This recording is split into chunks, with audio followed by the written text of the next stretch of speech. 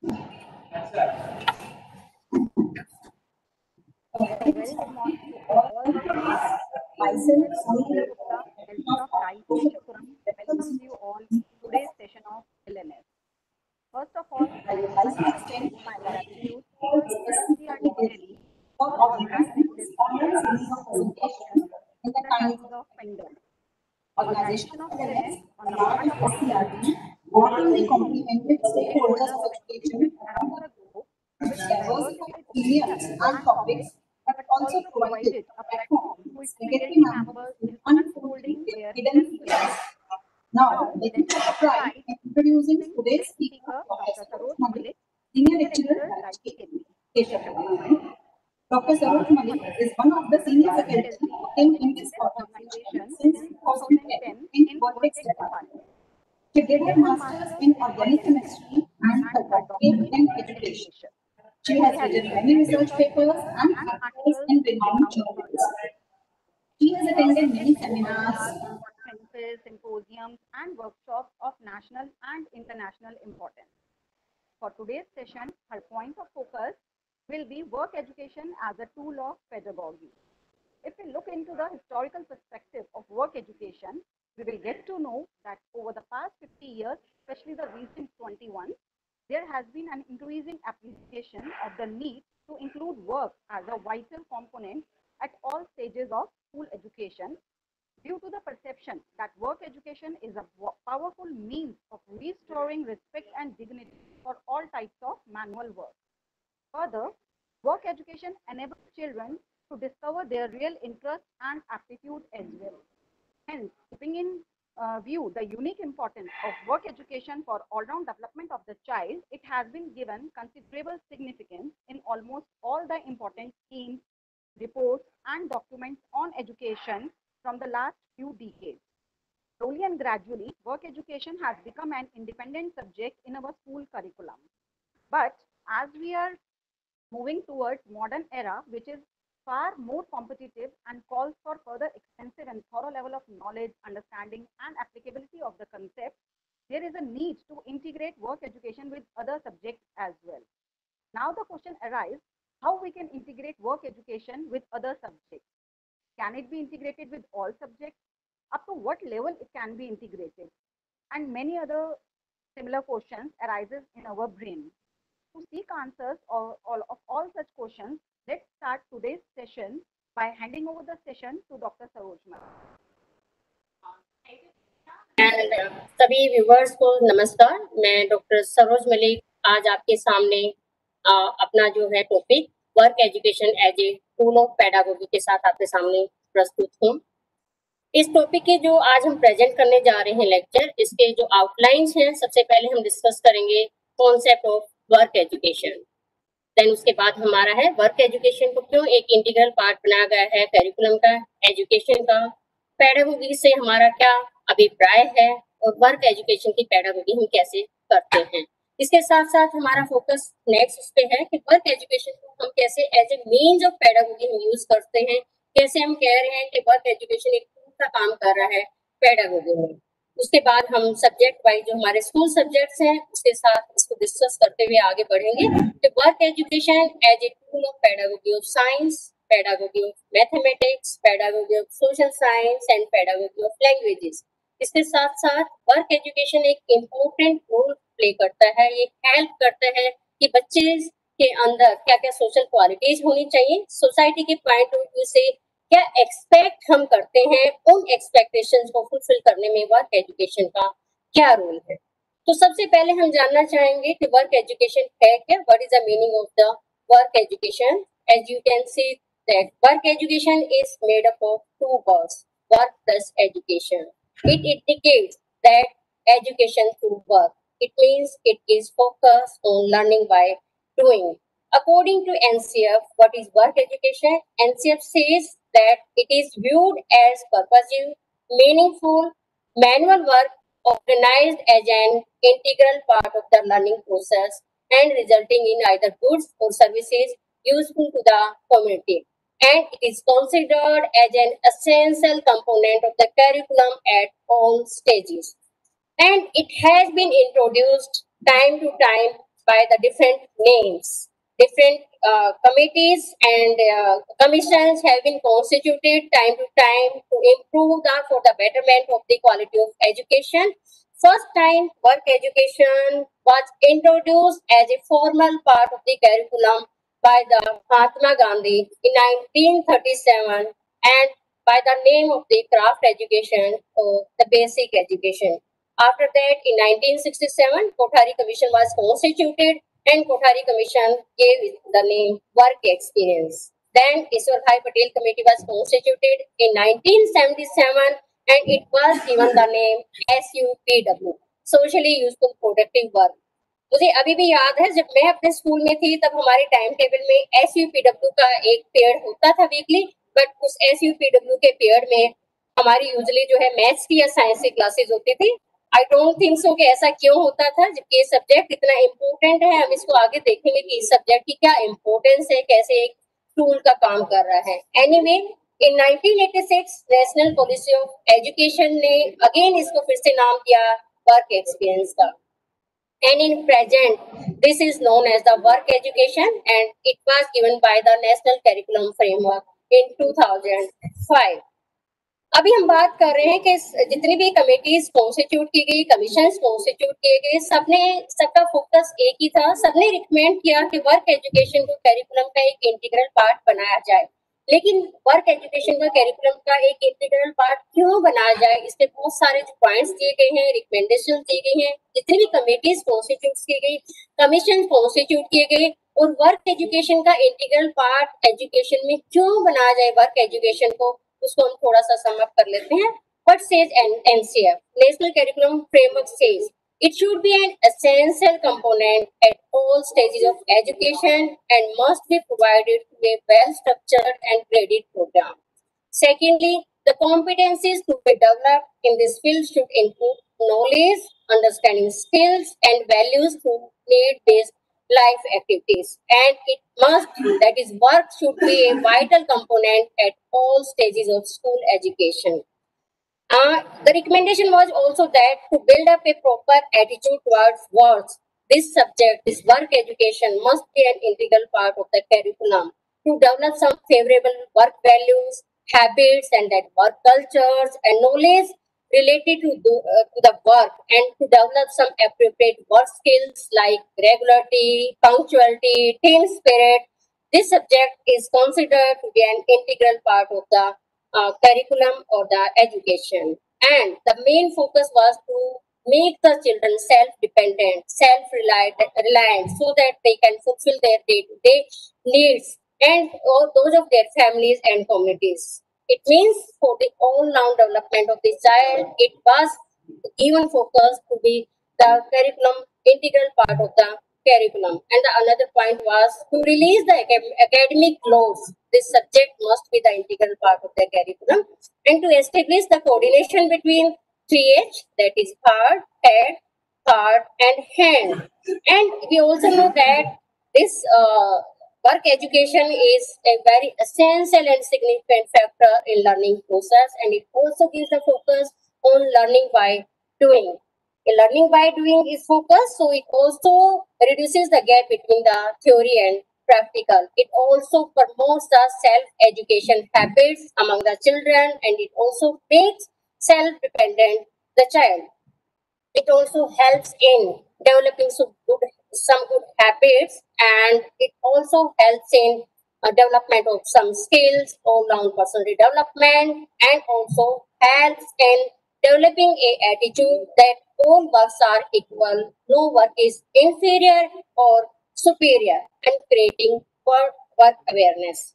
As we have seen that on the basis of these all these points, it was considered, it was recommended by all the constitution, all the committees and commissions. Now, after the recommendations of these committees and constitutions, what is the place of this work education in our scheme of studies? As CBSE has prescribed, it's a main compulsory learning area at the secondary stage, and uh, on the basis of the prescription of the CBSE, in the timetable, the work education has given four periods per week. Out of these four periods, two periods are allotted for the classroom activities and two periods are allotted for the out school, outside school class activities. Then, uh, what is pedagogy? We need to understand that what is pedagogy. Pedagogy, it's a very vast term.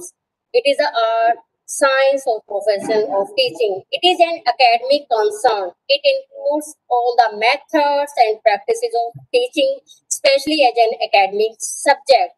It includes what approach we use to teach. It also includes how to impart the knowledge, how to develop the skills. It also includes theory and practices of learning and learning process, which are the factors that influence the learning process. So it is taken as an academic discipline, discipline and we can say that it is a study of how knowledge and skills are imparted in an educational context. So we can say that what is pedagogy? In simple way, we can say that pedagogy includes teaching styles, teaching theory, feedback and assessment, and process of learning, and what factors influence the teaching learning process. Now we come to the point how we teach the work education. And what is the pedagogy of work education? Various we use various methods to do activities related to work education. Some of these methods are observation method. In this method, we include those activities that are done by teacher only to the observation.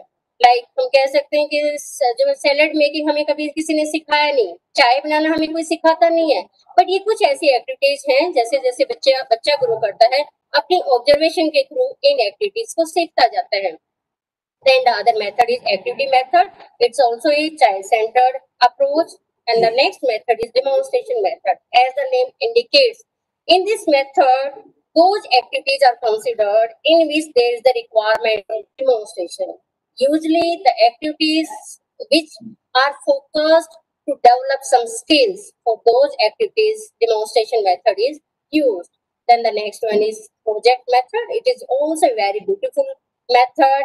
This method provides the opportunity to students to learn, to acquire, to gain the knowledge and to apply that knowledge and information in their daily life. Then the another method that we use in pedagogy of work education is integrated method as the name indicates it includes more than two methods. It means it is it depends on the nature of activity that cannot be done by using only one method. To do that activity, we have to use more than two methods. So if, if that we use more than two methods, that means that activity we use the integrated method. Then the next is problem solving method, and the next is exploration and experimentation method. As we can see from observation method to last one, exploration and experimentation methods, all methods are focused on child-centered approach. All methods give stress on learning by doing. So we can say that pedagogy of work education, it includes the method, this is focused on learning by doing. So now, how can how we can say that work education acts as a tool of pedagogy? हम कैसे कह सकते हैं कि pedagogy एक means के रूप में काम कर सकता है एक famous quote है I hear and I forget, I see and I remember, I do and I understand. हम ये फील कर सकते हैं इस कोर्स से कि जब भी हम कोई चीज़ देखते हैं तो हम जल्दी से भूल जाते हैं। लेकिन जब हम कुछ अपने हाथों से करते हैं लर्निंग बाय डूइंग पे फोकस्ड हैं तो कहीं ना कहीं वो एक लॉन्ग लास्टिंग मेमोरी हमारे माइंड में रजिस्टर हो जाती है। सो so, अगर हम इस कोड को अगर हम एनालाइज करें तो it means hearing is not as good as seeing seeing is not as good as experience and true learning is only evident when experience produces an action. it means it also gives the focus on learning by doing it means a child is able to learn it permanently to show it in in his uh, behavior if the activity is done by him. So, work uh, education एक tool uh, के काम में करता है pedagogy के लिए उसका base क्या है लर्निंग बाय डूइंग अब हमारे कॉन्टेक्स्ट है कि हम कैसे कह रहे हैं कि वर्क एजुकेशन दूसरे सब्जेक्ट्स के लिए, जो हमारे स्कूल सब्जेक्ट्स हैं, उनके लिए टूल ऑफ़ पैडागोगी का काम कर रहा है। इस चीज़ को हम शो करने के लिए, इस चीज़ को कहीं ना कहीं स्ट्रेंथन करने के लिए हम यहाँ पे कुछ एक्टिविटीज़ को सिलेक्ट करेंगे। उन एक्टिविटीज़ का एग्ज़ाम्पल लेते हुए हम उन पॉइंट्स पे फोकस करेंगे कि उस एक्टिविटी में बच्चा जब एंगेज है उस एक्टिविटी को बच्चा जब कर रहा है तो उस एक्टिविटी को करते हुए कौन सी ऐसी इंफॉर्मेशन है, कौन सी ऐसी नॉलेज है, कौन सी ऐसी कॉन्सेप्ट क्लैरिटी है या बेटर अंडरस्टैंडिंग है और उस नॉलेज और अंडरस्टैंडिंग को कैसे वो अपनी प्रैक्टिकल लाइफ में डेली लाइफ में वो अप्लाई कर पा रहा है और कौन से सब्जेक्ट के साथ वो कोरिलेट कर पा रहा है। तो कुछ एक्टिविटीज़ का एग्ज़ाम्पल लेके हम यहाँ पे शो करेंगे कि वर्क एजुकेशन दूसरे सब्जेक्ट्स के लिए कैसे पैडागोगी के रूप में काम करता है so we are taking all the subjects school subjects in which work education is acting as a tool of pedagogy it acts as a tool of pedagogy of science for the social science for also mathematics and for also language and work education also helps in developing all those good habits social values and qualities, etiquettes, and manners and good values in a child that is expected by the society. So we can say that work education also helps in fulfilling the social expectation. So now we are taking first work education as a tool of pedagogy of science.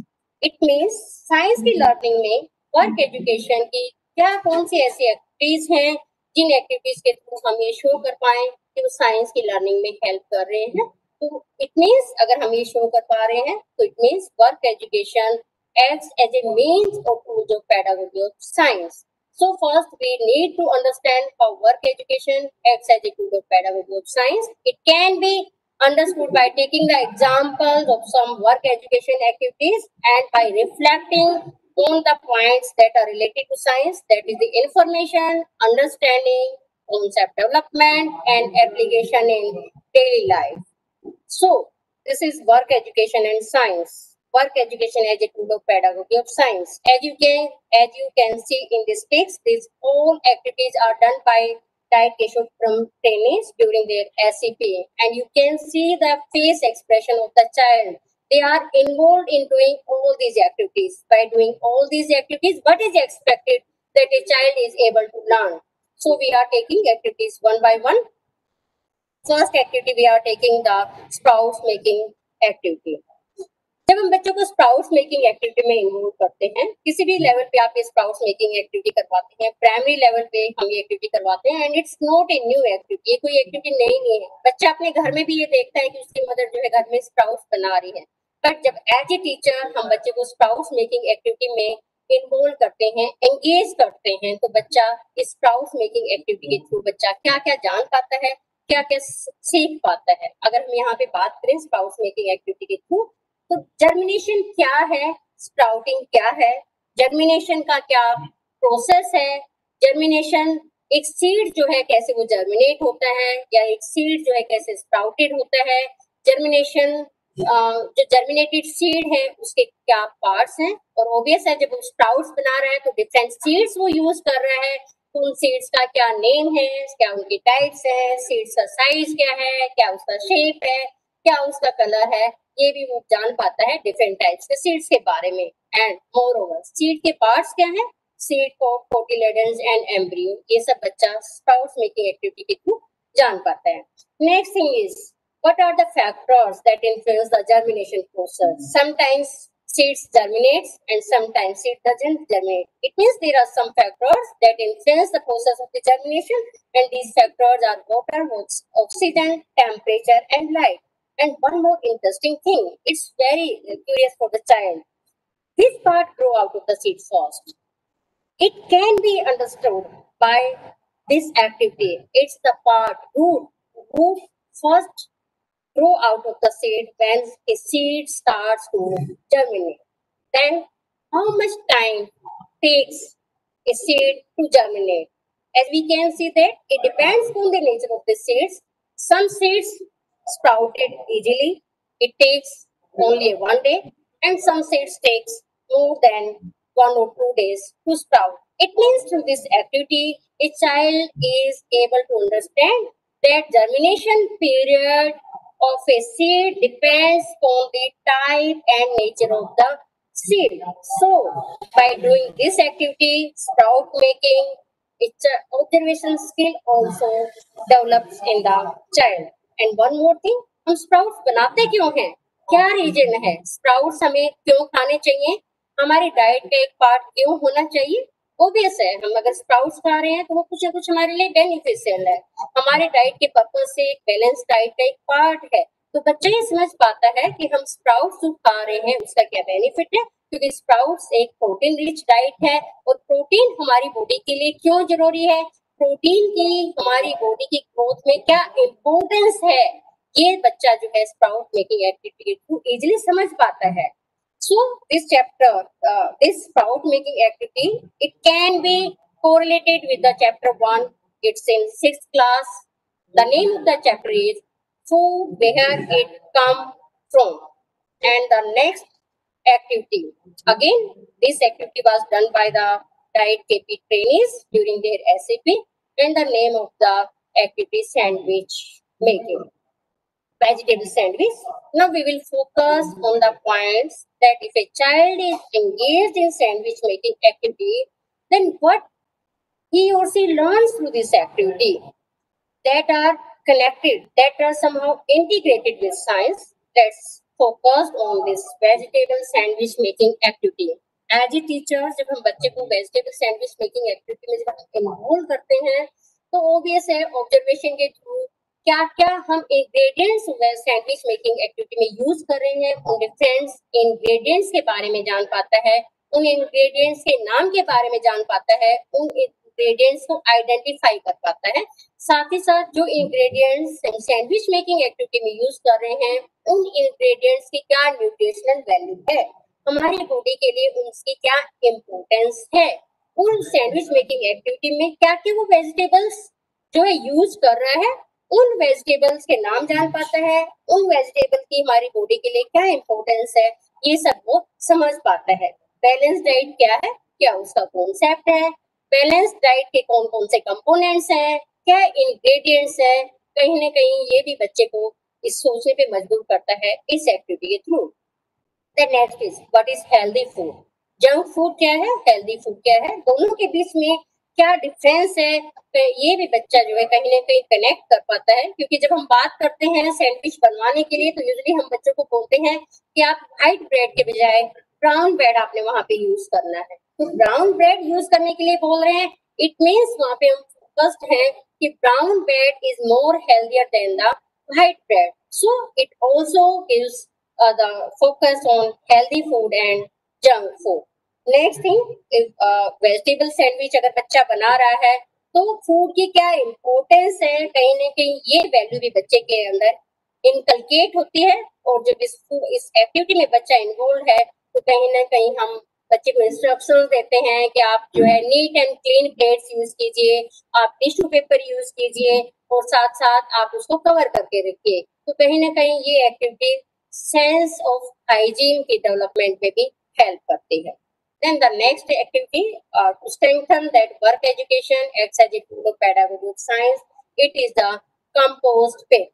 Compost pit, it's a very beautiful platform to provide the necessary important knowledge information related to the science. What is compost pit? In compost pit, we use the waste material from the kitchen like peels of vegetables, peels of fruits and dried leaves and it also helps in development a sense that how can we enrich our soil how can we fertilize our soil and how can we retain moisture in our um, soil so जब हम use करते हैं जो है vegetables के pails हैं dried leaves हैं या हम फ्रूट्स के जो पेल्स हैं छिलके हैं उसको हम कंपोस्ट वेस्ट पिट में यूज़ करते हैं तो कहीं ना कहीं बच्चा ये भी समझ पा रहा है कि अगर हम उसको कंपोस्ट पिट में यूज़ करेंगे तो प्लांट डिज़ीज़ और पेस्ट को भी स्प्रेड करने में कहीं ना कहीं उसको रिड्यूस करता है, उसको स्प्रेस करता है।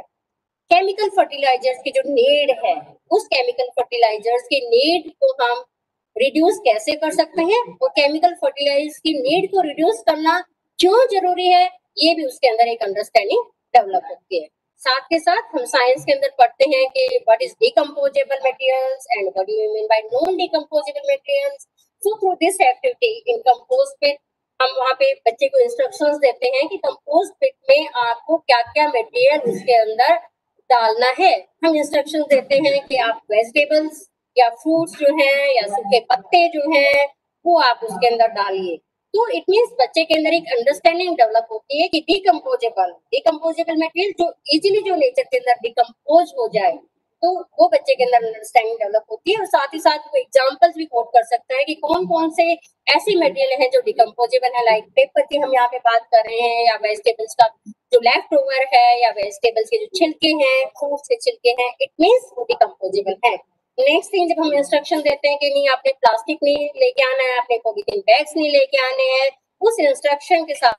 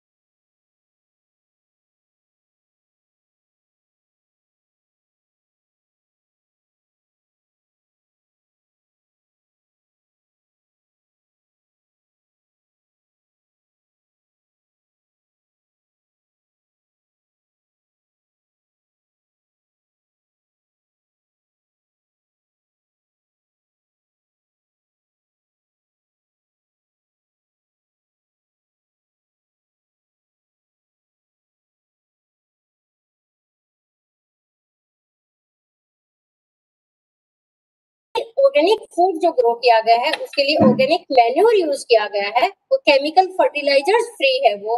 पेस्टिसाइड्स फ्री है, इसलिए हम ऑर्गेनिक फ़ूड की डिमांड करते हैं। तो कहीं ना कहीं ये कंपोस्ट पेट की जो एक्टिविटी है, बच्चे के अंदर ये भी डेवलप करती है सेंस डेवलप करती है अंडरस्टैंडिंग डेवलप करती है कि ऑर्गेनिक मेन्योर हम कैसे फॉर्म कर सकते हैं, कैसे हम बना सकते हैं और ऑर्गेनिक मेन्योर की क्या इम्पोर्टेंस है। साथ साथ इस एक्टिविटी को करते हुए साइंटिफिक एटीट्यूड भी बच्चे के अंदर डेवलप होता है। Next activity is vegetable garden आप इसको किचन गार्डन भी कह सकते हैं, सब्जियों की क्यारी भी कह सकते हैं। आप इसके अंदर देख सकते हैं कि डाइट के ट्रेनिंग जो है डाइट के अंदर कैंपस के अंदर भी और स्कूल के अंदर भी उन्होंने ये इस एक्टिविटी को वहाँ पे करवाया और इस एक्टिविटी को करवाने के पीछे सिर्फ़ ये एक पर्पज नहीं था कि इस एक्टिविटी को करवाना है। बट इस एक्टिविटी को करवाते हुए बच्चे बच्चे की हेल्प करनी है कि क्या वो इंफॉर्मेशन गेन कर पाए क्या उसके अंदर अंडरस्टैंडिंग डेवलप कर हो पाए क्या उसके अंदर वो नॉलेज गेन कर पाए और क्या कॉन्सेप्ट क्लैरिटी हो। तो देखिए बच्चे जो है इस एक्टिविटी को करवाते हुए कहाँ पर फोकस्ड हैं और क्या एक्सपेक्टेड है कि जिन बच्चों के लिए एक्टिविटी करवाई जा रही है उस एक्टिविटी के थ्रू बच्चे क्या क्या लर्न करेंगे we can say that uh, vegetable garden making activity it creates a transformative learning landscape at schools and it also provides a very dynamic environment in which a child is able to observe, discover, experiment, nurture, and learn. Through this activity, it also reinforces the ideas and concepts about the plant science and the social science. And what types of the knowledge is expected through this activity?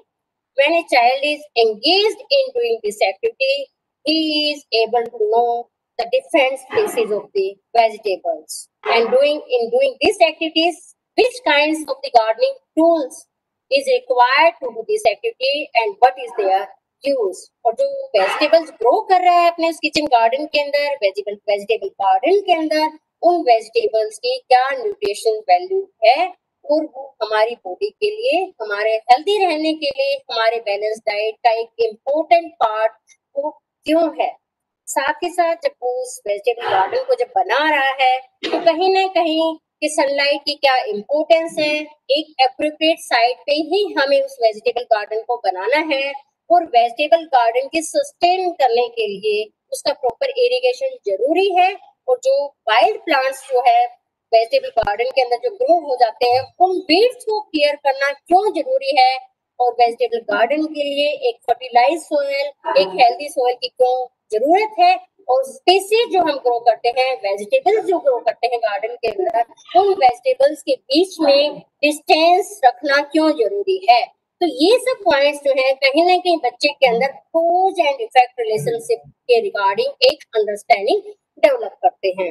Next thing ये platform जो है vegetable garden making activity जो है, बच्चों के अंदर building nutrition education भी जो है बच्चों को प्रोवाइड करता है और hands on education about the food groups different vegetables हम ग्रो ग्रो करते हैं तो कौन सी वेजिटेबल जो है, कौन से फ़ूड ग्रुप से एसोसिएटेड है, बच्चा ये भी समझ पाता है। हम देख सकते हैं कि कुछ वेजिटेबल्स का जो ईटेबल पार्ट है, वो स्टेम है, उस वेजिटेबल्स का जो ईटेबल पार्ट है, वो रूट्स है। तो कहीं ना कहीं हम बच्चा ये क्लासीफाई कर पाता है। जैसे अगर हम बात करें यहाँ पर अगर हम कैरेट की बात करें रूट की बात करें तो उसको हम फ़ूड में क्लासीफाई किसमें करते हैं? रूट्स के अंदर हम करते हैं।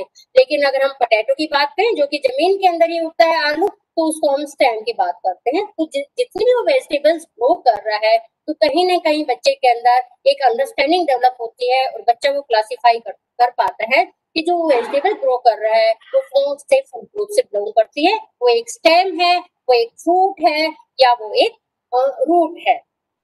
सो so, इस एक्टिविटी में इन्वॉल्व होते हुए बच्चे के अंदर कहीं ना कहीं साइंटिफिक इंक्वायरी जो है वो भी कहीं ना कहीं एनहेंस होती है। नेक्स्ट थिंग बच्चा ओबियस है एज ए प्रोजेक्ट बच्चे को वेजिटेबल गार्डन बनाने के लिए दिया गया है। बच्चे उस प्रोजेक्ट को कंप्लीट करने में लगे हुए हैं। लगे हुए हैं तो बच्चे के अंदर कि कौन सी वेजिटेबल किस सीज़न में ग्रो करना सुटेबल है बच्चा ये जान पाता है।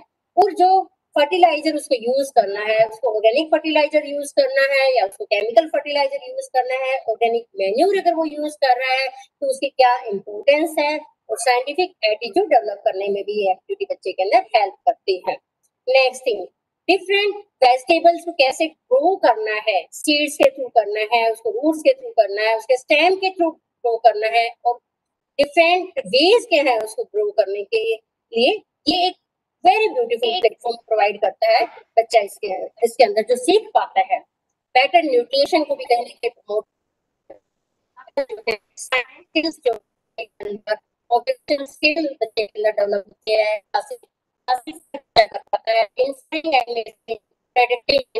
स्किल भी बच्चे के अंदर डेवलप होती है। इसके साथ साथ इस एक्टिविटीज़ के बच्चे के अंदर जो हम सोशल एक्सपेक्टेशंस की जो हम बात करते हैं सोशल क्वालिटीज की हम जो बात करते हैं टीम स्पिरिट की जो हम बात करते हैं वर्क कल्चर की जो हम बात करते हैं वर्क स्किल्स की जो हम बात करते हैं सेल्फ कॉन्फिडेंस की जो हम बात करते हैं, वो सब भी बच्चे के अंदर वो वैल्यूज़ वो हैबिट्स वो सोशल वैल्यूज़ डेवलप करने में हेल्प करता है।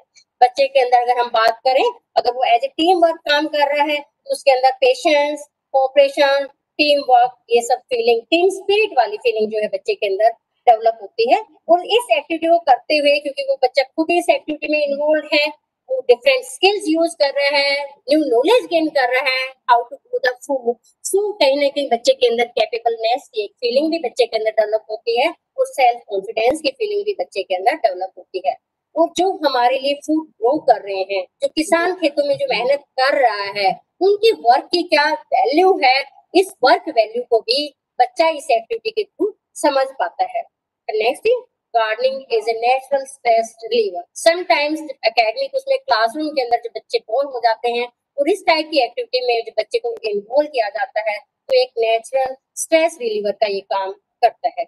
और बच्चे बच्चे एज ए प्रोजेक्ट उनको दिया गया है, उनको पता है ये प्रोजेक्ट कंप्लीट करना है। तो जो वेजिटेबल गार्डन जब बन जाता है तो प्लांट्स की कैसे केयर करनी है वो प्लांट्स की केयर करते हुए रिस्पॉन्सिबिलिटी की फीलिंग डेवलप होती है और इतने सारी हमने चीज़ें इसके अंदर देखा कि सनलाइट क्यों ज़रूरी है या टाइम टाइम जो है वोटिंग क्यों ज़रूरी है, ये सब भी कोज एंड इफ़ेक्ट फैक्टर के रिगार्डिंग बच्चे के अंदर अंडरस्टैंडिंग डेवलप होती है। तो अभी हमने देखा इस एक्टिविटी में इतने सारे पॉइंट्स हमने फोकस किए कि वेजिटेबल्स के रिगार्डिंग या सोशल वैल्यूज़ के रिगार्डिंग या बच्चे की जो पर्सनल हैबिट्स के रिगार्डिंग हमने इतने सारे पॉइंट्स डिस्कस किए तो साइंस के रिगार्डिंग पॉइंट्स जो हमने डिस्कस किए हैं, कहीं ना कहीं वो स्ट्रेंथन करते हैं कि वर्क एजुकेशन साइंस की पैडागोगी के लिए एक मीन्स का काम करता है, एक टूल का काम करता है। इसी के रिगार्डिंग में थोड़ा सा और यहाँ पर ऐड करना चाहूँगी। एक स्टडी की गई है। स्टडी बहुत सारी हुई है कि वर्क एजुकेशन कैसे टूल का काम करता है डिफरेंट सब्जेक्ट्स की लर्निंग में डिफरेंट सब्जेक्ट्स की पैडागोगी में। बट यहाँ पे मैं एक छोटा सा जो है स्टडी यहाँ यहाँ पर कोट करना चाहूँगी। स्टडी की गई है कैलेमर एट होल इन 2005 इस स्टडी में क्या स्टडी की क्या फाउंडिंग है? फाइंडिंग्स हैं। ये स्टडी की गई थी third fourth and fifth class के स्टूडेंट्स थे जिनको इन्वॉल्व किया गया था गार्डन एक्टिविटीज़ के अंदर। और एक ग्रुप ऐसा बनाया गया था, जिन स्टूडेंट्स को गार्डन एक्टिविटीज़ में इन्वॉल्व नहीं किया गया। और स्टडी का ऑब्जेक्टिव जो था उनकी साइंस अचीवमेंट पे क्या इफ़ेक्ट है? Students are involve in gardening activity or the students who are not involved in gardening activity. And surprisingly, the result was that the students who were involved in gardening activities, they scored significantly higher on science achievement test in comparison of the same grade level student who did not. So we can say that this study also strengthened that work education acts as a tool of pedagogy. As we have discussed, many activities can be organized uh, for teaching of science using work education. So how we are going to decide which activity to organize for primary level and which activity is to be organized for upper primary. So how we are going to decide this? Okay Sonia देखिए activities जो है activities का difficulty level decide करता है कि वो activities हम primary level के लिए लेंगे या वो एक्टिविटीज़ हम अपर प्राइमरी लेवल के लिए लेंगे। क्योंकि जब हम एक्टिविटी सिलेक्ट करते हैं तो एक्टिविटी सिलेक्ट करते हुए बच्चा हमारे माइंड में होता है कि बच्चे का जो है मेंटल एज क्या है, उसका एज क्या है, कौन से क्लास से वो बच्चा बिलोंग करता है, उसके अकॉर्डिंग ही हम एक्टिविटी सिलेक्ट करते हैं। एक सेम एक्टिविटी जो है हम फ़र्स्ट और सेकंड क्लास के लिए भी हम चूज़ कर सकते हैं सिलेक्ट कर सकते हैं। और सेम एक्टिविटी जो है हम अपर प्राइमरी क्लास के लिए भी यूज़ कर सकते हैं। Even six seven eight class के लिए भी हम यूज़ कर सकते हैं।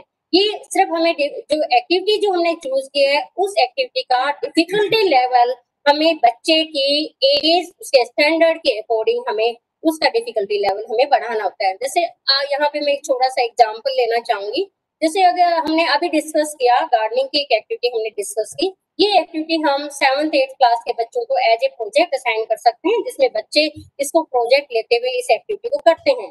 ये एक्टिविटी गार्डनिंग से रिलेटेड है, जिसमें हमने वेजिटेबल गार्डन बनाने के लिए उनको बोला गया है। एज ए प्रोजेक्ट ये एक्टिविटी उनको असाइन की गई है।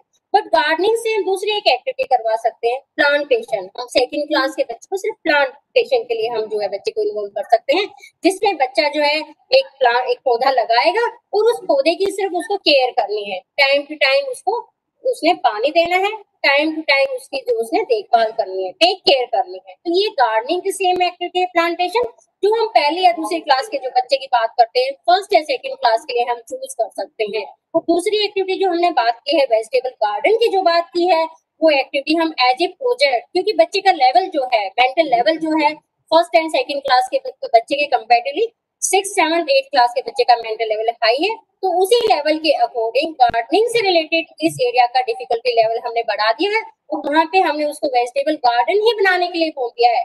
किचन गार्डन ही बनाने के लिए उसको हमने बोल दिया है। सेकेंड थिंग हम पहली क्लास के बच्चे या सेकेंड क्लास के बच्चे को जो हमारा गार्डन ऑलरेडी बना हुआ है स्कूल कैंपस के अंदर जो गार्डन है, हमारे फ्लावर्स हैं, वहाँ पे भी हम उनको छोटी सी एक एक्टिविटी के लिए वहाँ पे हम बच्चे को भेज सकते हैं। गार्डन के अंदर जो सूखे पत्ते पड़े हैं, टहनिया पड़ी हैं, सिर्फ़ उसको क्लीन करने के लिए हम भेज सकते हैं। उसके पीछे पर्पज ये है कि गार्डन के अंदर वाइल्ड प्लांट्स को हमें रिमूव करना है। सूखे पत्तों को हमें हटाना है। तो बच्चे के अंदर उस गार्डनिंग से एसोसिएट करना है। ये हमारा फ़र्स्ट और सेकंड क्लास के लिए हमारा वहाँ पे ऑब्जेक्टिव ये है उस एक्टिविटी को करवाने का। और जैसे वेजिटेबल गार्डन हमने लिया गार्डनिंग की एक एक्टिविटी है जो हमने सिक्स सेवन एट क्लास के लिए ली गई है। तो उसका जो है ऑब्जेक्टिव थोड़ा सा वो डिफरेंट है क्योंकि वो अपर क्लास के लिए ली गई है उन बच्चों का मेंटल लेवल भी हाई है. Thank you, ma'am. ओके और क्या हम ले सकते हैं? इसके अंदर एक छोटा सा मैं एग्जांपल लूँगी। ऐसे तो बहुत सारी एक्टिविटीज़ हैं जो वर्क एजुकेशन के अंदर हम करवा सकते हैं और जिस पे हम एम्फेसिस कर सकते हैं कि उन एक्टिविटीज़ को हम कैसे साइंस के साथ इंटीग्रेट कर सकते हैं, कैसे साइंस की लर्निंग को प्रमोट करते हैं, कैसे साइंस की अंडरस्टैंडिंग में वो हेल्प करते हैं। तो एक छोटी क्लासेस के लिए यूजुअली एक्टिविटी होती है स्क्रैप बुक हम बनवा सकते हैं। स्क्रैप बुक के लिए डिफरेंट एक्टिविटीज़ हम चूज़ कर सकते हैं बच्चों के लिए। उसमें से एक एक्टिविटी हमने लिया है leaves collection first second third I think third class तक ये एक्टिविटी बड़ा ही अप्रोप्रिएट है. हम बच्चे को ये एक्टिविटी करने के लिए बोलते हैं कि आप अपने पेरेंट्स के साथ अपने नेबरहुड में जो पार्क है, उस पार्क में जाइए और आपके पार्क में जितने भी प्लांट्स हैं, उनके लीव्स कलेक्ट कीजिए. तो इस एक्टिविटी को ये हमारे आप स्पिक्स में देख भी सकते हैं. ये फ़र्स्ट सेकंड क्लास में हमारे डाइट के स्टूडेंट्स ने एससीपी में ये एक्टिविटी करवाई है तो उसी का ये ये पिक्स यहाँ पे मैंने आपके साथ शेयर किया है। तो अगर ये एक्टिविटी हम बच्चे को असाइन करते हैं स्क्रैप बुक जिसमें एक्टिविटी का नाम दिया गया है कलेक्शन ऑफ़ लीव्स तो यहाँ पर बच्चा क्या सीख पाता है? अगर हम पहली ये एक्टिविटी हम करवाते हैं फ़र्स्ट एंड सेकंड क्लास के लिए तो वहाँ पे हमारा सिर्फ़ पर्पज होता है कि इस एक्टिविटी के थ्रू बच्चा एटलीस्ट ये जाने कि उसके सराउंडिंग में कि उसके सराउंडिंग में कौन कौन से प्लांट्स हैं, उन प्लांट्स के लीव्स कैसे हैं लीव्स का साइज़ क्या है शेप क्या है और कलर क्या है। ये समझ पाए कि लीव्स जो है वो डिफर करते हैं, ये पर्पज है फ़र्स्ट सेकेंड क्लास के लिए। लेकिन अगर इसी एक्टिविटी को हम आगे सिक्स क्लास के लिए सेवंथ क्लास के लिए करवाना चाहते हैं तो वहाँ पे हमारा पर्पज होता है कि डिफरेंट टाइप्स के लीव्स के बारे में बच्चा जान पाए शेप साइज़ एंड कलर के बारे में जान एंड मोर ओवर जो अरेंजमेंट है वेंज का, आप देखते होंगे पत्ते के अंदर कुछ लाइंस होती हैं तो वो वेंज का अरेंजमेंट और पैटर्न वो लीव लीव्स टू लीव्स जो है वेरी करता है, और लीव के क्या पार्ट हैं? पेट्योल है ड्रिप कौन सा पार्ट है? ये सब बच्चा जो है इस एक्टिविटी के थ्रू सीख सकता है। तो ये एक यहाँ पे हम एक रिफ्लेक्शन है कि स्क्रैप बुक में आप कौन कौन सी जो है डिफरेंट एक्टिविटीज़ दे सकते हैं। तो मैं कुछ एक्टिविटीज़ के नाम यहाँ पे मैं ले रही हूँ। सीज़न का आप बोल सकते हैं ट्रांसपोर्ट मीन्स के फिक्स फेस करने के लिए बोल सकते हैं डोमेस्टिक एनिमल्स के बारे में स्क्रैप बनवा सकते हैं वेजिटेबल्स के बारे में बनवा सकते हैं डिफरेंट टाइप्स के फाइबर्स के बारे में बनवा सकते हैं कलेक्शन ऑफ़ सीड्स आप करवा सकते हैं। हमारे नेबरहुड में कौन लोग हैं जो हमारी हेल्प करते हैं, जैसे मोची है, दर्जी है टेलर आई मीन तो ये क्या हमारे हेल्पर्स हैं डॉक्टर है तो ये हमारे हेल्पर्स कौन कौन से हैं? डिफरेंट टाइप्स के फ्रूट्स क्या हैं? वाइल्ड एनिमल्स क्या हैं? कौन से हमारे सराउंडिंग में बर्ड्स हैं? फ्रूट्स हैं? फ्लावर्स हैं? प्लांट्स का हमारे लिए क्या यूज़ है? और हमारी फैमिली अपनी फैमिली के बारे में भी वो डिस्क्रिप्शन दे सकता है स्क्रैप बुक में। तो ये कुछ एक्टिविटीज़ थी जिसके बेस पे हम बात कर सकते हैं कि वर्क एजुकेशन साइंस की लर्निंग में हेल्प कर सकता है। ये कुछ सजेस्टिव एक्टिविटीज़ और हैं। सोप एंड डिटर्जेंट मेकिंग है चौक मेकिंग है कैंडल मेकिंग है फ्लावर बेड मेकिंग है। And there are load of activities. And work education has a very vast area so it depends on the teacher to choose the activities and to correlate it with the science. Then we come to the social science.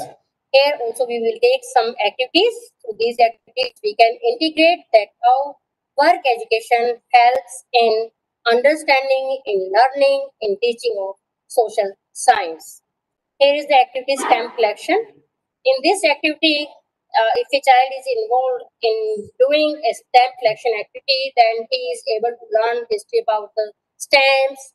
Stamps की कौन कौन से type से हैं postage stamp है revenue stamp है या food stamps है और जो फोटोग्राफ्स और ड्राइंग उन स्टैम्प्स पे की गई हैं कहीं ना कहीं उसके थ्रू हिस्ट्री को हम कैसे कम्युनिकेट कर सकते हैं और कौन कौन से हमारे ग्रेट लीडर्स हैं फ्रीडम फाइटर्स हैं जिनका जिनके लिए स्टैम्प बनाई गई है, या स्टैम्प्स की हमारी हिस्ट्री में क्या इम्पोर्टेंस रही है?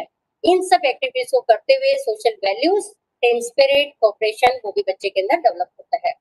Then the next activity we can take the globe making globe आप पेपर मैसी से भी बनवा सकते हैं, या बलून से भी आप ग्लोब बनवा सकते हैं। सिक्स क्लास में यूजली एक्टिविटी हम करवाते हैं, क्योंकि सिक्स क्लास के सोशल साइंस में कुछ चैप्टर्स हैं जहाँ पे हम ग्लोब को यूज़ करके उस ब्लॉग के थ्रू सोशल साइंस की लर्निंग में हेल्प कर सकते हैं। तो ये पेपर मैसेज से ग्लोब बनाया गया है, जो पिक्स आप देख रहे हैं।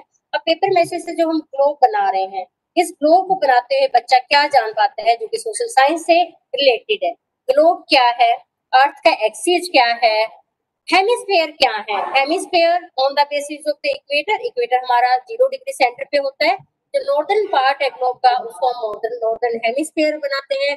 और जो लोअर पार्ट है साउथ की तरफ़ है, उसका हमारा वो है। साउदर्न हेमिस्फेयर है, इसी तरह से प्राइम मेरिडियन जब वो ग्रो करता है वर्टिकली ग्लोब बनाते हुए तो उसको पता लगता है कि ईस्टर्न पार्ट जो है वो हमारा ईस्टर्न हेमिस्फेयर है और ग्लोब का जो वेस्टर्न पार्ट है वो हमारा वेस्टर्न हेमिस्फेयर है। और ये चैप्टर जो है सिक्स क्लास में ग्लोब के नाम से है chapter two in social science जो इसकी सोशल साइंस की लर्निंग में हेल्प करता है। इसके साथ साथ लाइन ऑफ़ लेटीट्यूड्स क्या है? लाइन ऑफ़ लॉन्गिट्यूड्स क्या है? पैरेलल ऑफ़ लेटीट्यूड्स क्या है? इक्वेटर कहाँ पे हमें शो करना है? ज़ीरो डिग्री पे करना है।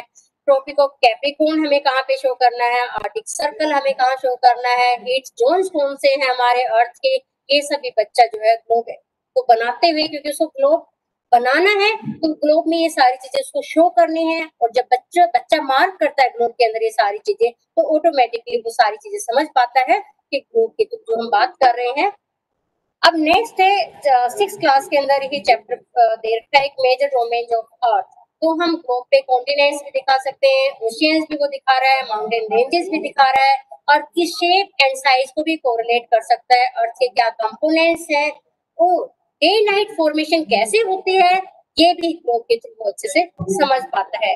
अर्थ कैसे रोटेट करती है सीजनल चेंजेस कैसे होते हैं रिवोल्यूशन ऑफ़ द अर्थ क्या है, या डिफरेंट टू सिटीज़ हैं, उनके बीच में टाइम एंड डिस्टेंस का जो कॉन्सेप्ट है, वो भी जब बच्चा ग्लो बनाता है तो ये कहीं ना कहीं इंफॉर्मेशन गेन करता है कॉन्सेप्ट क्लैरिटी होती है। नेक्स्ट एक्टिविटी हमारी है मोन्यूमेंट्स ऑफ़ दिल्ली आप एक एज ए प्रोजेक्ट बच्चे को असाइन कर सकते हैं। यहाँ पे हमने एक एग्ज़ाम्पल लिया है कि सिक्स क्लास में आप बच्चे को बोल सकते हैं कि दिल्ली के कौन से मोन्यूमेंट्स हैं उसके ऊपर आप एक प्रोजेक्ट बनाइए। ओबियस से बच्चा जब इस प्रोजेक्ट को बनाता है तो उसको पता लगता है कि मोन्यूमेंट्स क्या है दिल्ली के अंदर कौन कौन से मॉन्यूमेंट्स है इन मॉन्यूमेंट्स की क्या इम्पोर्टेंस है और क्यों लोगों ने इस मॉन्यूमेंट्स को बनाया? क्या इसके पीछे रीजन रहा है? हिस्ट्री क्या है मॉन्यूमेंट्स की? दिल्ली के कौन से पार्ट में ये लोकेटेड है? और कहीं ना कहीं बच्चे के अंदर एक फीलिंग भी डेवलप होती है कि हमें why need for preserving a historical monuments acidic sense बच्चे के अंदर डेवलप होती है। वो कहीं ना कहीं वो अप्रिशिएट करता है उसके आर्किटेक्चर के जो एलिमेंट्स हैं जो हमारा कल्चर हेरिटेज है। नेक्स्ट इज़ सोलर सिस्टम के ऊपर आप डिफरेंट वेस्ट मटेरियल यूज़ करके डिफरेंट मटेरियल यूज़ करके क्राफ्ट आइटम्स आप यूज़ करके सोलर सिस्टम के आप ऊपर जब आप एक एक्टिविटी करवाते हैं लो कॉस्ट के के अंदर आप सोलर सिस्टम का एक मॉडल बनवा सकते हैं। तो ओबियस है बच्चा जब सोलर सिस्टम का जब मॉडल बना रहा है तो उसके सोलर सिस्टम का मीनिंग क्या है? सोलर सिस्टम के जो मेंबर्स हैं कौन कौन से मेंबर्स हैं? प्लैनेट्स कौन कौन से हैं? प्लैनेट्स का साइज़ कितना है? प्लैनेट्स का नेम क्या है? प्लैनेट्स जो है सोलर सिस्टम के अंदर किस ऑर्डर में है? उनकी पोजिशन क्या है, सन से कितने डिस्टेंस पे है ये प्लैनेट्स और डिफरेंट प्लैनेट्स को वो क्लासीफाई भी कर पाता है कि रोकी प्लैनेट्स कौन से हैं, हमारे गैसी प्लैनेट्स कौन से हैं। ऑब्वियस जब सोलर सिस्टम का मॉडल वो बना रहा है तो वहाँ पे उसको क्लैरिटी होती है कि सोलर सिस्टम में ग्रेविटी का क्या रोल है। सोलर सिस्टम कोलेप्स क्यों नहीं हो पा रहा है? तो ये मास एंड ग्रेविटी का रिलेशनशिप वो समझ पा रहा है। स्टार्स मून एंड प्लैनेट्स के बीच में क्या डिफरेंस है, ये उसके अंडरस्टैंडिंग डेवलप होती है।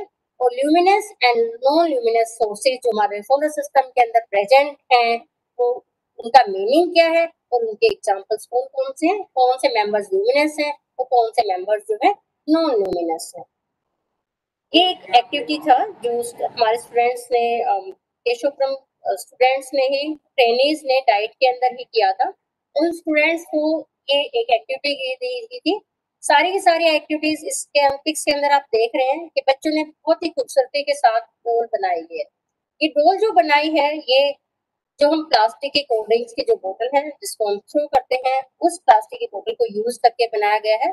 इस डोल को बनाते हुए बच्चों को एक असाइनमेंट दिया गया था तो उनको वेस्ट मटेरियल यूज़ करके उनको डोल बनाना है। तो डोल बनाते हुए आई होप बच्चों को कहीं ना कहीं एक अंडरस्टैंडिंग डेवलप हुई कि हम वेस्ट मटेरियल को यूज़ कैसे कर सकते हैं और एक एक कहीं ना कहीं एक सेंस भी डेवलप हुई है। अगर आप क्रिएटिव हैं then there is nothing that is waste everything is useful everything in your surrounding जिसको आप वेस्ट समझते हैं, जिसको आप गार्बेज में डालना चाहते हैं, उसकी आप एक वर्थ है और अपनी क्रिएटिविटी के थ्रू उसको आप यूज़ कर सकते हैं।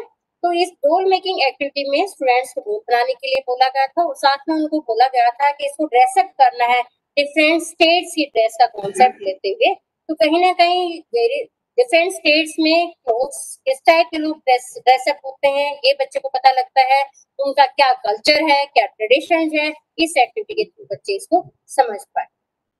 ये स्क्रैप बुक है। अगेन हम स्क्रैप बुक सोशल साइंस में भी यूज़ कर सकते हैं, जिसको हम बात करें यहाँ पर हम तो सोशल साइंस की अंडरस्टैंडिंग में बहुत सारी एक्टिविटीज़ हैं जो हम स्क्रैप बुक में हम बच्चे को दे सकते हैं। प्राइमरी लेवल पे यूजली ये ज़्यादा यूजफुल है स्क्रैप बुक बनवाना। जैसे इसके अंदर हम स्क्रैप में बच्चे को बोल सकते हैं कि जो फ्रीडम फाइटर्स हमारे हैं, उनकी जो है पिक्स आप यहाँ पे पेस्ट कीजिए। या अठारह सौ सत्तावन की जो हमारी क्रांति थी, उसके जो फ्रीडम फाइटर्स हैं, उनकी आप पिक्चर पेश करनी है। या अभी प्रेजेंट टाइम तक कितने प्रेसिडेंट्स में हैं कौन कौन प्राइम मिनिस्टर्स में हैं इंडिया के, उनकी आप पिक्स पेश कीजिए। डिफरेंट डांस फॉर्म्स हैं इंडिया के अंदर। इंडिया का कल्चर जो है, बहुत ही रिच है। तो उस कल्चर में जो डिफरेंट डांस फॉर्म्स है, भरतनाट्यम है कच कजीपुड़ी है तो ये सब डिफरेंट डांस फॉर्म्स है। उनकी पिक्स पिक्स पेश कीजिए कौन कौन से फेस्टिवल्स हम सेलिब्रेट करते हैं, उनकी आप पिक्स पेश कर सकते हैं। और ये कुछ और सजेस्टिव एक्टिविटीज़ है, जो सोशल साइंस की अंडरस्टैंडिंग के लिए पेडागोजी के लिए वर्क एजुकेशन में हम यूज़ कर सकते हैं। डिफरेंट टाइप्स के हम हाउसेज बनवा सकते हैं पीओपी से हम क्वाइंस बनवा सकते हैं, हम क्ले मॉडलिंग के थ्रू बहुत सारी एक्टिविटीज़ करवा सकते हैं।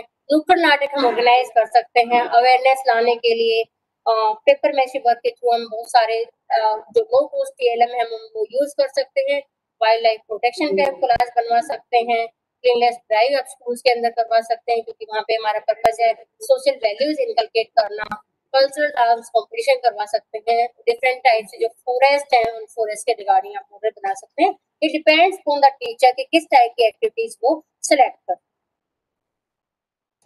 The next subject is mathematics कैसे हम मैथमेटिक्स में वर्क एजुकेशन लर्निंग में हेल्प करता है? ये कुछ एक्टिविटीज़ हैं, ये बच्चों के द्वारा ही की गई है, उन्हीं की पिक्स है। तो हम फ़र्स्ट एक्टिविटी ले रहे हैं लेटर बॉक्स मेकिंग हम छोटी क्लासेस में भी हम इसको यूज़ कर सकते हैं और बड़ी क्लासेस में अगर हम इसको यूज़ करते हैं तो हम बच्चों का एक लेटर बॉक्स बनाने के लिए बोले।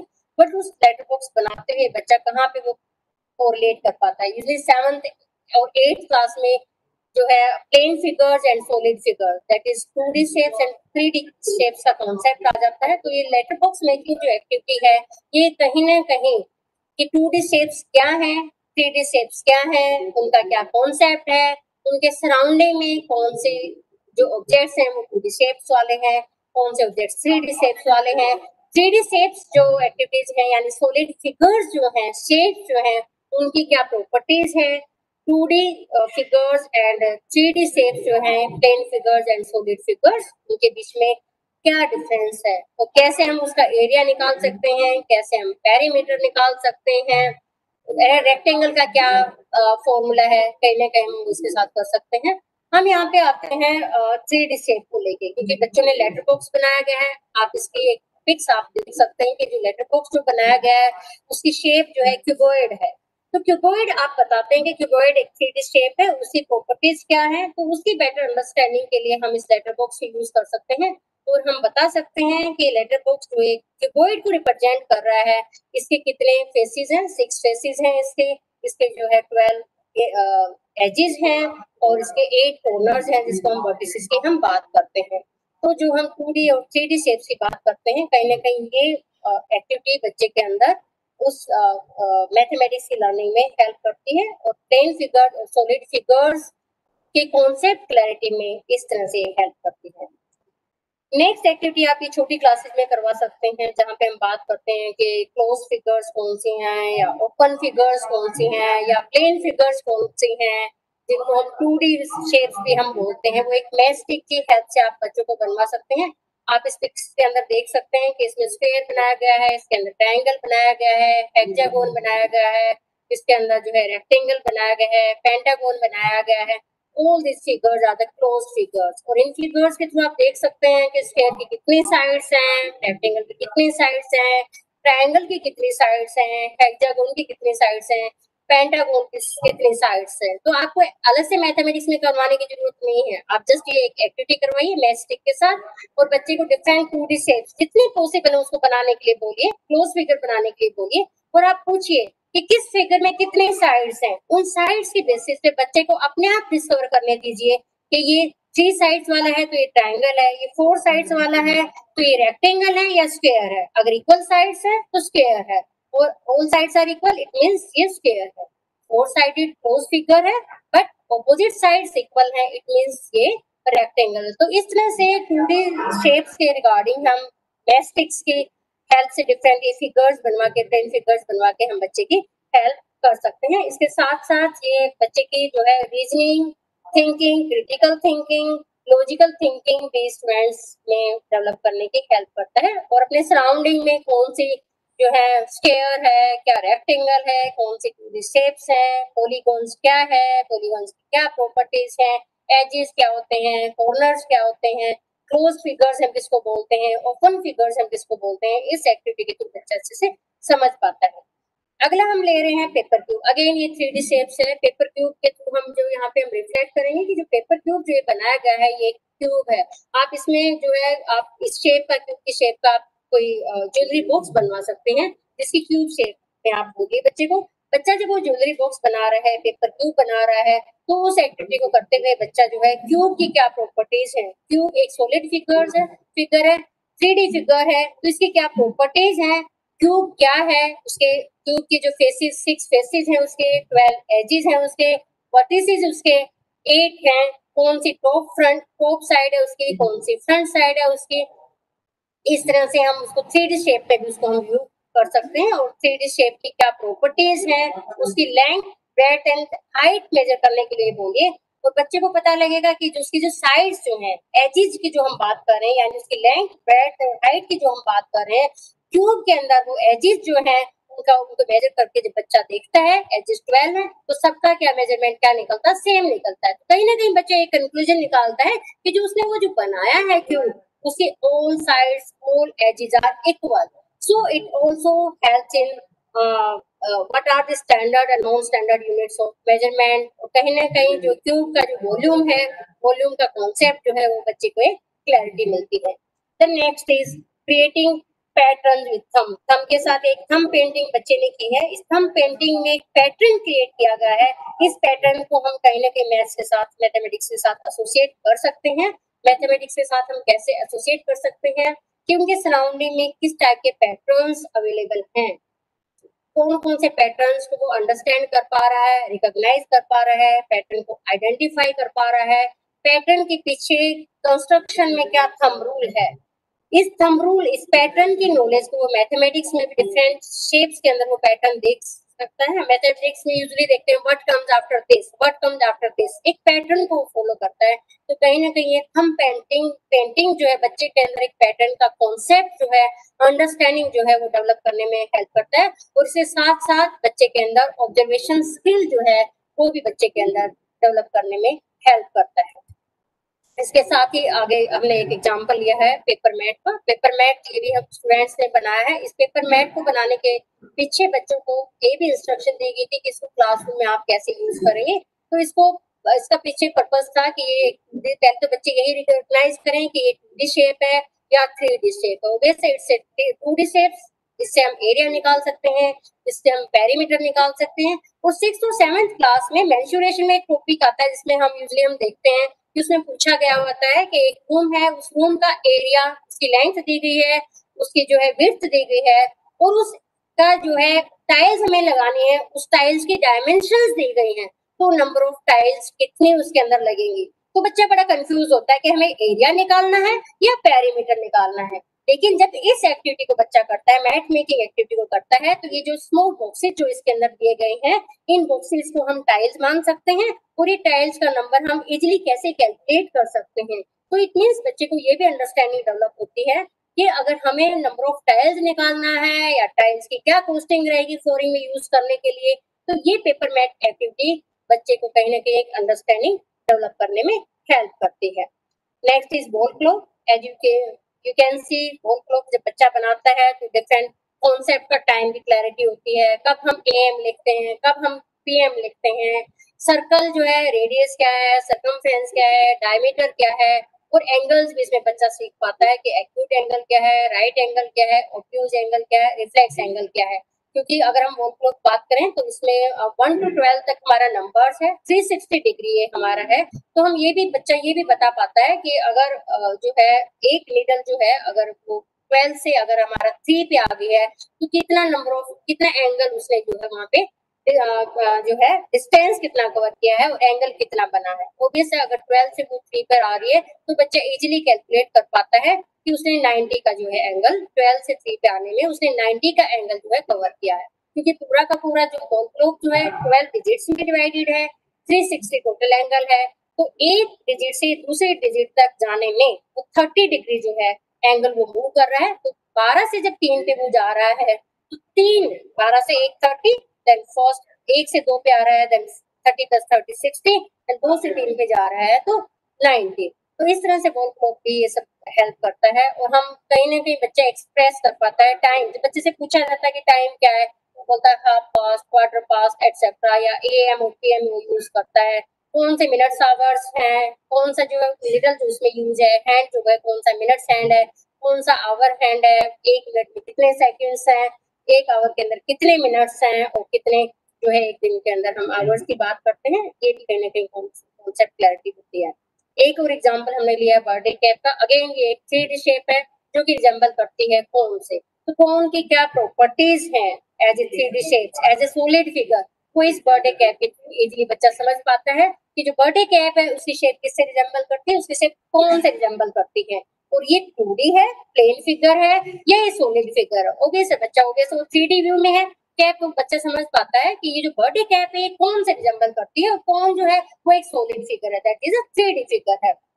अब इस कौन के, इस बर्थडे कैप के थ्रू जो कौन का जब एग्ज़ाम्स में आता है तो बच्चा नहीं उसको अच्छे समझ समझ पाता, उसमें पूछा जाता है कि कौन है, कौन के कितने फेस हैं, कितने उसके जो वर्टेक्स हैं, कितने उसके एजेस हैं या उसकी सरफेस कैसी है। बच्चा नहीं कर पाता है, लेकिन अगर उसने बर्थडे कैप अगर उसने बनाया तो इजिली वो रिकॉल कर पाता है कि जो कैप जो उसने बनाई है, वो कौन से रिजेंबल करती है, उसका फेस वन है, उसका जो एंगल जो बना है, ऊपर जो टोपी के अंदर कौन जो बनता है वर्टेक्स वो भी वन है, और क्योंकि सरफेस उसके स्पेरिकल है तो एजेस उसके अंदर ज़ीरो है।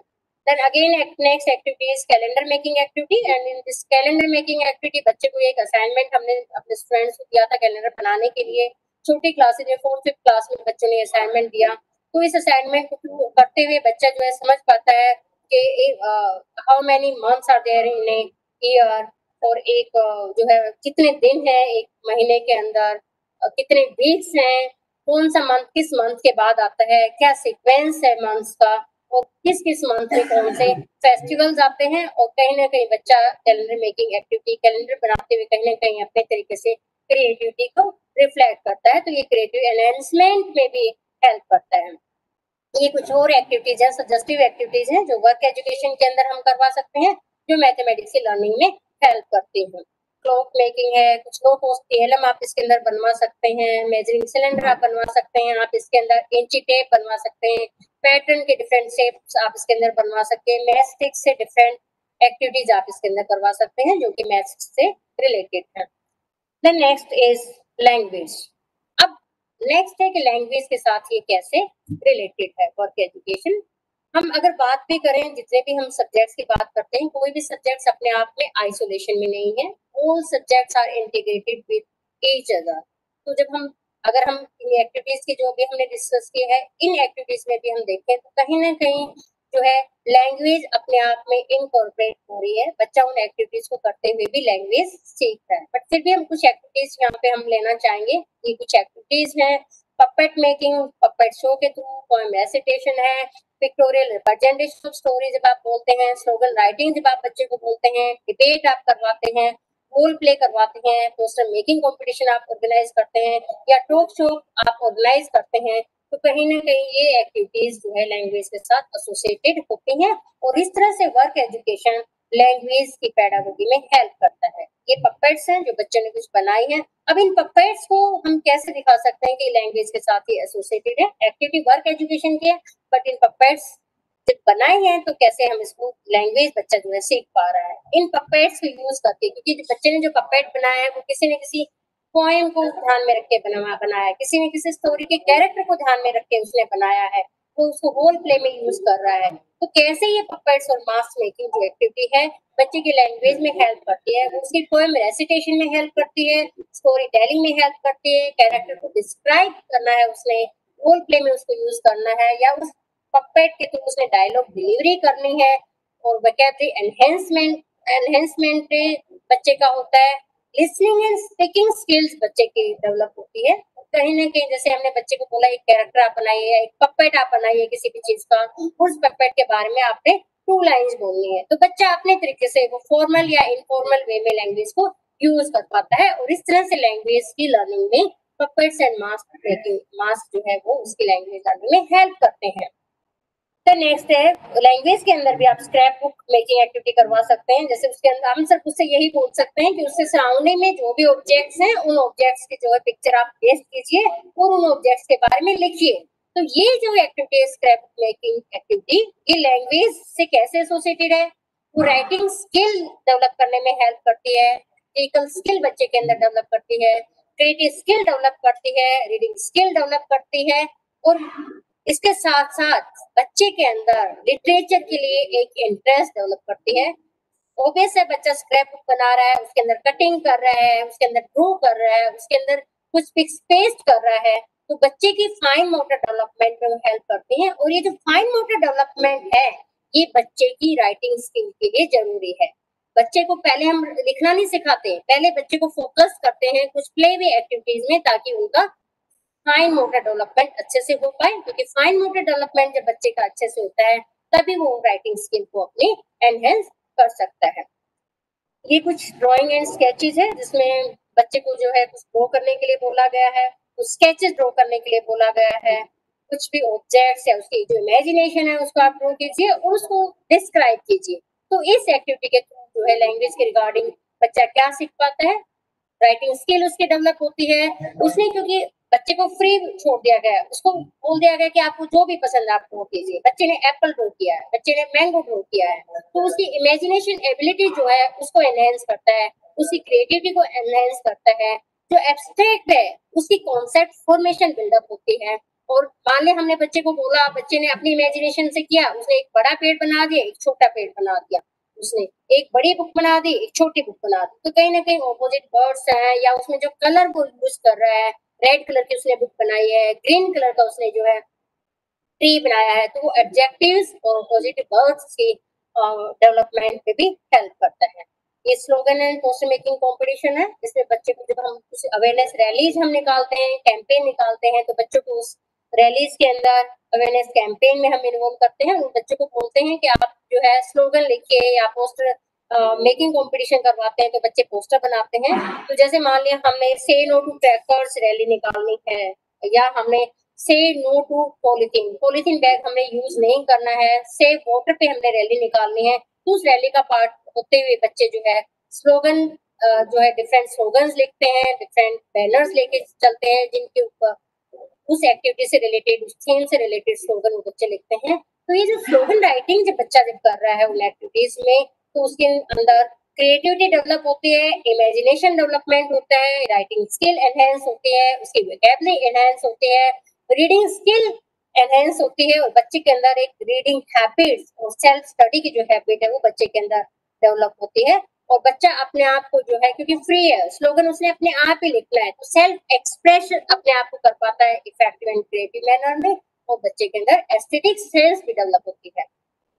देन कैरेक्टर मेकिंग ये बच्चों को बैलून से कुछ कैरेक्टर बनाने के लिए बोला गया था। बच्चों ने अपनी मर्ज़ी से कैरेक्टर बनाया किसी ने फ्रूट्स का बनाया किसी ने अपने फेवरेट कार्टून कैरेक्टर का बनाया। उसमें बोला गया था कि आपने इसके ऊपर दो लाइन बोलनी भी है। तो उन दो लाइन्स को बोलते हुए आ, बच्चा जो है आप देख सकते हैं इसमें भी वर्बल स्किल बच्चे का एनहेंस होता है लिसनिंग स्किल डेवलप होती है स्पीकिंग स्किल डेवलप होती है क्रिएटिविटी इमेजिनेशन पावर जो है बच्चे के अंदर एनहेंस होती है। कुछ और एक्टिविटीज़ हैं जो हम लैंग्वेज के साथ एसोसिएट कर सकते हैं लिटरेसी कैंपेन है प्लांटेशन ड्राइव है कल्चरल रिक्रिएशनल एजुकेशनल प्रोग्राम्स हम ऑर्गेनाइज कर सकते हैं अवेयरनेस कैंपेन हम ऑर्गेनाइज कर सकते हैं। तो ये अभी हमने देखा कि डिफरेंट स्कूल सब्जेक्ट्स को की लर्निंग में वर्क एजुकेशन की डिफरेंट एक्टिविटीज़ को एसोसिएट करते हुए हम कैसे उसकी लर्निंग में हेल्प कर सकते हैं। दूसरा, ये कुछ मेथड्स हैं, जो मेथड सीबीएसई ने रिकमेंड किया है अपने डॉक्यूमेंट में कि बच्चे के अंदर एक कंस्ट्रक्टिव एबिलिटी डेवलप करनी है क्रिएटिविटी एनहेंस करनी है तो कौन कौन सी हम एक्टिविटीज़ बच्चे को करने के लिए दे सकते हैं? इसमें ड्राइंग पोस्टर्स है डायग्राम चार्ट्स है फ्लैनल बोर्ड बनाने के लिए आप बच्चे को बोल सकते हैं मॉडल्स बनाने के लिए बोल सकते हैं स्केचेस ड्रॉ करने के लिए बोल सकते हैं कोलाज बनाने के लिए बोल सकते हैं स्क्रैप बुक आप बनाने के लिए बोल सकते हैं। कुछ और एक्टिविटीज़ हैं जहाँ पे हम बात कर रहे हैं बच्चे के अंदर सोशल वैल्यूज़ इनकलकेट हो, उसके अंदर गुड हैबिट्स इनकलकेट हो, बच्चा जो है गुड सिटीजन बने। बट उसको जो सोशली एक्सपेक्टेड जो वैल्यूज़ हैं, जो सोशली एक्सपेक्टेड जो हम मैनर्स की बात करते हैं एटिकेट्स की बात करते हैं, या बच्चे का एक ऑल राउंड डेवलपमेंट की बात करते हैं तो बच्चे के अंदर वो वैल्यूज़ क्या हो? क्या एटिकेट्स हो? कैसे वो बच्चे के अंदर वो वैल्यूज़ वो एटिकेट्स वो टीम स्पिरिट या सोसाइटी से बिलोंगिंगनेस की फीलिंग डेवलप करें तो उसके लिए सीबीएसई के डॉक्यूमेंट्स ने कुछ मेथड्स जो है वर्क एजुकेशन के अंदर इन्वॉल्व करने के लिए बोला गया है, और इन मेथड्स के थ्रू हम बच्चे के अंदर कहीं ना कहीं एक पार्टिसिपेशन एंड ऑब्जर्वेशन वाली सेंस डेवलप कर सकते हैं, और ये मेथड्स क्या है? प्लेज में बच्चे को डिफरेंट प्लेज में बच्चे को इन्वॉल्व कीजिए डांस कॉम्पिटिशन ऑर्गेनाइज करवा सकते हैं सॉन्ग्स में बच्चे को पार्टिसिपेट करने के लिए बोल सकते हैं पोएम रेसिटेशन में बोल सकते हैं, बच्चे को एक्सकर्जन के लिए ले जाइए स्टडी टूवर्स ऑर्गेनाइज कीजिए इंटर स्कूल विज़िट करवाइए बच्चे का डिफरेंट टॉपिक्स का डिस्कशन करवाइए डिबेट्स करवाइए पपेट्री करवाइए ड्रामा में बच्चे को इन्वॉल्व करिए माइंड्स जैसे एक्टिविटीज़ करवाइए ओबियस ये हमारे स्कूल के अंदर जो है करिकुलम का एक पार्ट है डिफरेंट एक्टिविटीज़ हम ये स्कूल के अंदर करवाते भी हैं बट इन एक्टिविटीज़ का करवाने के पीछे है कि बच्चे का हमें पार्टिसिपेशन इंश्योर करना है, बच्चे का ऑब्जर्वेशन स्किल भी हमें जो है बच्चे का डेवलप करना है। तो स्टोरी टेलिंग है स्लाइड शोज़ है वीडियो फ़िल्म आप दिखा सकते हैं रेडियो प्रोग्राम्स ऑर्गेनाइज करवा सकते हैं डिफरेंट एस्पेक्ट से आप सोसाइटी के अंदर सर्वे आप ऑर्गेनाइज करवा सकते हैं, आपने ड्रॉप आउट का देखना है, आपने लेबर चाइल्ड का देखना है, आपने अडल्ट लिटरेसी से रिलेटेड आप जो है सर्वे ऑर्गेनाइज करवा सकते हैं। तो ये कुछ सजेस्टिव एक्टिविटीज़ हैं जो बच्चे के अंदर पार्टिसिपेशन की फीलिंग डेवलप करती हैं ऑब्जर्वेशन स्किल डेवलप करती हैं। अब, अभी हमने जितनी भी एक्टिविटीज़ देखी हैं, वो हमने बात की है कि जो स्कूल सब्जेक्ट्स जो हमारे हैं करिकुलम का एक जो पार्ट है, उन स्कूल सब्जेक्ट की लर्निंग में वर्क एजुकेशन कैसे हेल्प करता है, कैसे as a tool of pedagogy का काम करता है। बट एजुकेशन का जो मेन एम है एजुकेशन का मेन एम सिर्फ़ एकेडमिक अचीवमेंट से नहीं है कि मैथमेटिक्स में उसने इतना अचीव किया साइंस में उसकी इतना स्कोरिंग है 99 परसेंटेज है। एजुकेशन का जो अल्टीमेट एम है, वो बच्चे का है ऑल राउंड डेवलपमेंट बच्चे का सिर्फ़ हमें कॉग्निटिव डेवलपमेंट नहीं करना। जो हमारे ऑब्जेक्टिव्स हैं, जो हमारे डोमेन है, उसमें हमारा एक इफ़ेक्टिव डोमेन भी है। उस इफ़ेक्टिव डोमेन के अंदर हम अगर बात करें तो वर्क एजुकेशन कैसे फुलफिल करता है सोशल एक्सपेक्टेशंस को? सोसाइटी क्या चाहती है कि जो उसके भावी नागरिक जो है सिटीजन जो है, कल जो सिटीजन जो बनेंगे, उनके अंदर क्या वैल्यूज़ हो, उसमें वर्क एजुकेशन कैसे रोल प्ले करता है? तो वर्क एजुकेशन एक्टिविटीज़ में जब बच्चे को इन्वॉल्व किया जाता है तो उसके अंदर डेवलप होता है respect for manual work manual workers के लिए एक रिगार्ड डेवलप होता है रिस्पेक्ट डेवलप होती है सोशली डिजायरेबल वैल्यूज़ उसके अंदर डेवलप होती है, जब वो ग्रुप एक्टिविटी में टीम वर्क में काम करता है, वो वैल्यूज़ हैं self reliance helpfulness cooperativeness team work perseverance and tolerance इसके साथ साथ वर्क कल्चर से रिलेटेड हैबिट्स एंड वैल्यूज़ भी बच्चे में डेवलप करने में हेल्प करता है। Regularity punctuality discipline honesty efficiency love of excellence and dedication to duty जो सारी की सारी एसोसिएटेड है वर्क से। इनकी डेवलपमेंट में हेल्प करता है work education self esteem and confidence build up करता है. डीपर कंसर्न जो है बच्चे के अंदर, एक सेंस डेवलप करता है एनवायरमेंट के लिए. Sense of belongingness responsibility and commitment to the society develop करने में हेल्प करता है. एंड जो प्रोडक्टिव वर्क है, उसको अप्रिशिएट करता है बच्चा. ये बच्चे के अंदर एक सेंस डेवलप होती है. एस्थेटिक सेंस डेवलप होती है. कम्युनिटी के साथ बिलोंगिंगनेस की एक फीलिंग डेवलप होती है। Yes we are the part of this community this community is ours community की जो इश्यूज़ हैं, वो हमसे बिलोंग करते हैं। उन कम्युनिटी इश्यूज़ को सोल्व करने के लिए, उन कम्युनिटी इश्यूज़ को रिजोल्व करने के लिए हम किस टाइप की कम्युनिटी के वेलफेयर के लिए काम कर सकते हैं? कौन से सर्विसेज़ हम उसको प्रोवाइड कर सकते हैं? इसके साथ साथ बच्चे के अंदर लीडरशिप क्वालिटी डेवलप होती है। इनिशिएशन टेकिंग एबिलिटी डेवलप होती है। डिसीज़न मेकिंग एबिलिटी डेवलप करने में हेल्प करता है कॉन्फिडेंस बिल्डअप करने में हेल्प करता है, एक इंटरेस्ट डेवलप करता है किसी पर्टिकुलर वर्क के लिए dignity towards labour team spiriting spirit की फीलिंग डेवलप होती है एस्थेटिक सेंस की फीलिंग डेवलप होती है सोशल बिलोंगिंगनेस की फीलिंग डेवलप होती है ऑब्जर्वेशन स्किल डेवलप होती है इंटरपर्सनल स्किल डेवलप होती है लाइफ स्किल डेवलप करने में हेल्प करता है तो एक पॉजिटिव एटीट्यूड डेवलप करने में हेल्प करता है। तो इस तरह से आपने देखा कि वर्क एजुकेशन जितने हमारे स्कूल सब्जेक्ट थी पैडागोगी में हेल्प करने के साथ साथ जो सोशली एक्सपेक्टेड जो वैल्यूज़ हैं बच्चे की ऑलराउंड डेवलपमेंट बच्चे की कैसे हो उस ऑलराउंड डेवलपमेंट पे भी एक इम्पोर्टेंट रोल प्ले करता है thank you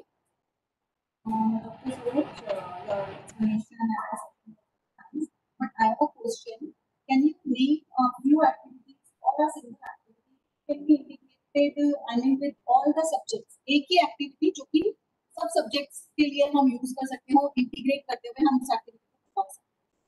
ऐसी कोई activity पे अगर हम जितने भी अभी हमने एक्टिविटीज़ डिस्कस की हैं कोई भी एक्टिविटी आइसोलेशन में नहीं है किसी भी हम एक्टिविटी को एक सिंगल एक्टिविटी को हम ये नहीं कह सकते कि वो एक पर्टिकुलर सब्जेक्ट के साथ ही एसोसिएटेड है फॉर एग्जांपल अगर हम यहाँ पे ले रहे हैं puppet and mask making activity ही हमने एग्जांपल लिया हमने यहाँ पे उसको कोरिलेट किया है लैंग्वेज के साथ। लेकिन आप देखेंगे कि puppet and mask making activity जब बच्चा जब कर रहा होता है तो उस puppet and mask making activity को करते हुए बच्चे के अंदर आर्ट से रिलेटेड जो एक फीलिंग है आर्ट कहीं ना कहीं आर्ट सब्जेक्ट से भी उसको कोरिलेट करता है, उसकी इमेजिनेशन स्किल को भी डेवलप करता है लैंग्वेज के साथ भी वो एसोसिएट करता है।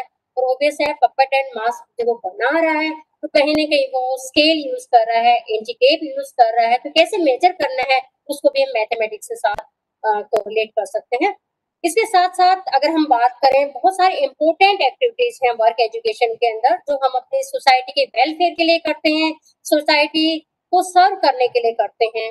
ये एक्टिविटीज़ के पीछे, इन एक्टिविटीज़ को करवाने के पीछे पर्पज होता है कि बच्चे के अंदर सोसाइटी से लोनलीनेस की फीलिंग डेवलप हो, बच्चा अवेयर रहे कि सोसाइटी के क्या इश्यूज़ हैं।